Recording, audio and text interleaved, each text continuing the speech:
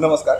आई वडिलांच्या कष्टांनी मित्रमंडळींच्या सपोर्टमुळे फ्रान्समध्ये आधी राहायला शिकायला आणि आता कामासाठी राहिलेला मी एक कलाप्रेमिस्ट मी इथे कान्स फिल्म फेस्टिवलला खरं तर दुसऱ्यांदा आलेलो आहे. यावेळेला शहात्तरावं कान्स फिल्म फेस्टिवल आहे आणि इथे पहिल्यांदा महाराष्ट्राचा स्टॉल आहे. आणि त्यामुळे इथे महाराष्ट्राचे दोन सर माझ्यासोबत आहेत त्यांची ओळख करून देतो. पहिल्यांदा सर आहेत विकास खारगे सर नमस्कार. जे आपल्या महाराष्ट्राच्या मुख्यमंत्र्यांचे प्रधान सचिव आहेत आणि कल्चर डिपार्टमेंटचे पण हेड आहेत. त्याशिवाय इथे आहेत नमस्कार वंदे मातरम.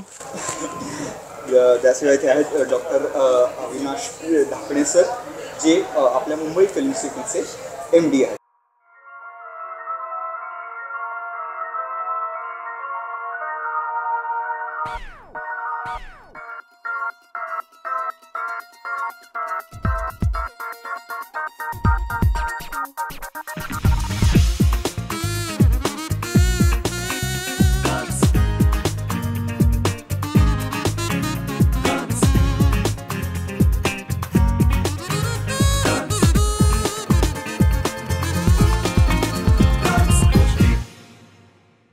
सर मला तुम्हाला पहिल्यांदा असंच विचारायला आवडेल. आपण तुमच्यापासून सुरुवात करूया की सिनेमाचं आणि तुमचं नातं कसं आहे? असं आहे की प्रशासकीय सेवेमध्ये वेगवेगळ्या पदांवर काम करायला लागतं. तर ह्या सांस्कृतिक क्षेत्रात आणि मूवीच्या क्षेत्रात पहिल्यांदाच काम करायचा हा अनुभव आहे. यापूर्वी मी टुरिझममध्ये काम केले दोन वर्ष महाराष्ट्र टुरिझममध्ये. त्यामुळं तसा संबंध होता. पण फिल्मशी हा पहिलाच संबंध आहे. आणि हे पूर्णपणे आमच्यासाठी नवीन फील्ड आहे. खूप काही शिकायला याच्यात मिळतं. क्रिएटिव्हिटी खूप आहे या क्षेत्रामध्ये. आणि त्यामुळं मजा येते. नवीन नवीन लोकांच्या माहिती होते ओळखी होतात. सर मग तुमचं आणि सिनेमाचं नातं कसं आहे? सिनेमा जो आहे तो आपल्याला लहानपणापासून सर्वांनाच प्रिय असतो. आपण महाराष्ट्रामध्ये असल्यामुळं मराठी चित्रपट पाहतो हिंदी चित्रपट पाहतो. आणि मला असं वाटतं की प्रत्येक मनुष्यावर अनेक व्यक्तींचा प्रसंगाचा खूप खोल असा परिणाम होत असतो. त्या व्यक्ती आणि प्रसंगाशिवाय आणखी एक फार प्रभावी माध्यम जे व्यक्तीच्या व्यक्तिमत्वावर जीवनावर परिणाम करतं ते म्हणजे चित्रपट. चित्रपट हसवतो रडवतो अंतर्मुख व्हायला लावतो विचार करायला लावतो. त्याच्यामुळे चित्रपट हा आवडीचा विषय जसा सगळ्यांचा आहे तसा माझाच माझा देखील आहे. मुख्यमंत्री कार्यालयामध्ये प्रधान सचिव म्हणून काम करत असताना शासनानं मला ही सांस्कृतिक कार्य विभागाची देखील जबाबदारी दिली प्रधान सचिव म्हणून. मला आनंद झाला की याच्यामध्ये आपल्याला काहीतरी नवीन शिकता येईल काहीतरी कॉन्ट्रीब्यूट करता येईल. त्याच्यामुळं या क्षेत्रामध्ये काम करण्याची संधी मला मिळत आहे. असा हा माझा चित्रपटाचा समाज आहे. सर मग आता तुम्ही इथे कानमध्ये होतात तिथं मीटिंग्सही केल्यात तुम्ही मला माहिती आहे लोकांना भेटत होता कसा होता एक कान फिल्म फेस्टिवलचा अनुभव? असं आहे की जगातलं सगळ्यात मोठा फिल्म बाजार आहे फिल्म फेस्टिवल आहे. ह्या क्षेत्राशी संबंधित सर्वच लोक इथे येतात त्यामुळे इंट्रॅक्शन चांगलं होतं. आणि आमच्यासाठी हा लर्निंग एक्सपिरियन्स होता चांगला.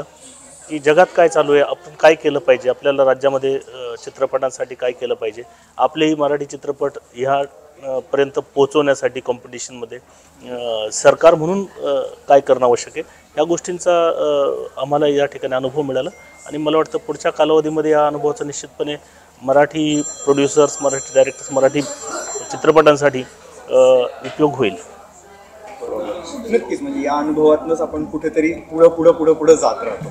सर आता मला असं विचारायला लागेल की मी आपल्या महाराष्ट्राचा जो बूथ होता त्याचा फोटो बघितला त्याच्यावर महाराष्ट्र गव्हर्नमेंटच्या काही पॉलिसीज विषयी त्यांनी तिथे छापलेलं आहे दाखवलेल्या आहेत त्या पॉलिसी तर त्या काय आहेत? एकतर महाराष्ट्रामध्ये म्हणजे महाराष्ट्र गव्हर्नमेंट जे आहे ते चित्रपटाकडं तीन भावनेनी पाहतं. हां. एक म्हणजे एक आर्ट फॉर्म आहे हा. चित्रपट हा एक आर्ट फॉर्म आहे. प्रत्येक आर्टला प्रत्येक कलाक्षेत्राला महाराष्ट्र गव्हर्नमेंट प्रोत्साहन करतं. कारण एखाद्या समाजाची प्रगती म्हणजे केवळ आर्थिक प्रगती नाही तर त्याची या हॅपीनेस इंडेक्स आनंद जर वाढवायचा असेल तर त्या एक प्रभावी माध्यम म्हणून चित्रपट आहे. असं महाराष्ट्र शासन त्याच्याकडे पाहतं. आणि प्रत्येकाने पाहिलं पाहिजे असं मला वाटतं. तर म्हणून आपल्या समाजामध्ये जर हॅपीनेस इंडेक्स वाढवायचा असेल तर अशी की चांगली प्रभावी माध्यमं पाहिजे त्यातलं चित्रपट आहे म्हणून महाराष्ट्र शासन त्याला हे करतं. दुसरं चित्रपटातून अनेक रोजगार निर्मिती होते. लोकांना काम मिळतं ॲक्ट्रेस असतील आणि बरेच चित्रपटांमध्ये जे जे संबंधित लोक आहेत. रोजगार निर्मिती आणि त्यातून त्यातून इंडिव्हिज्युअल आणि राज्याची आर्थिक प्रगती होण्यासाठी देखील आपल्या याला फा फायदा याच्यामध्ये. आणि तिसरं इमेज बिल्डिंगसाठी सुद्धा राज्याचं इमेज ब्रँडिंग याच्यामध्ये होण्यासाठी सुद्धा आता प्रेक्षणीय स्थळं जी चित्रपटामध्ये जी येतात ते लोक टुरिस्ट म्हणून त्या ठिकाणी आणखी जातात. तर टुरिझम वाढीला देखील याच्यामुळं मदत मिळत असते. म्हणून महाराष्ट्र शासनानं चित्रपटाला प्रोत्साहनपर असंच धोरण हे आखलेलं आहे आणि आणखी त्याच्यामध्ये सुधारणा आपण करत आहोत. महाराष्ट्रामध्ये दोन स्टुडिओज आहेत. मुंबईला गोरेगाव सायच्याचे एम डी डॉक्टर अविनाश आहे. कोल्हापूरला देखील एक फिल्म सिटी आहे. तर या ठिकाणी जे चित्रीकरणासाठी येतील मग तो हिंदी असू दे किंवा कुठल्याही मराठी असू दे किंवा कुठल्याही भाषेचा असू दे त्याला आपण प्रोत्साहन देत असतो. मराठी चित्रपटासाठी तर कन्सेशन रेटमध्ये म्हणजे फिफ्टी पर्सेंटमध्ये आपण त्यांना स्टुडिओज आणि शूटिंग फॅसिलिटी उपलब्ध करून देतो. त्यानंतर मराठी चित्रपट जे आहे त्यांना आपण अनुदान देखील देत असतो. म्हणजे नवीन नवीन याच्यामध्ये प्रोड्युसर डायरेक्टर यावेत यासाठी आपण प्रोत्साहनपर योजना केलेली आहे. आणि याच्यामध्ये जे चित्रपट तयार होत असतात दर्जेदार चित्रपट निर्माण व्हावेत विविध विषयावर निर्माण व्हावेत त्यासाठी आपण चाळीस लाख रुपये आणि तीस लाख रुपयांना अनुदान देत असतो. नमस्कार. माफ करा खरं तर ढाकणे सर आणि खारगे सर यांच्यासोबतच्या गप्पा मस्त रंगल्या होत्या. त्यांनी खूप इंटरेस्टिंग माहिती दिली. पण झालं असं की ती व्हिडिओ फाईल जी होती ना ती करप्ट झाली. त्याच्यामुळे व्हिडिओ अर्धवटच असा संपला.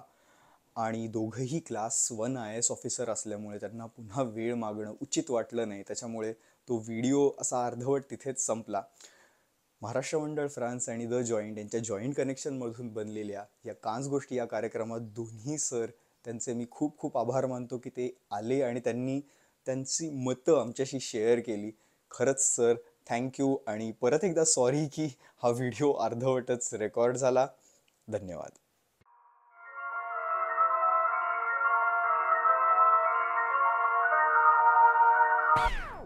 you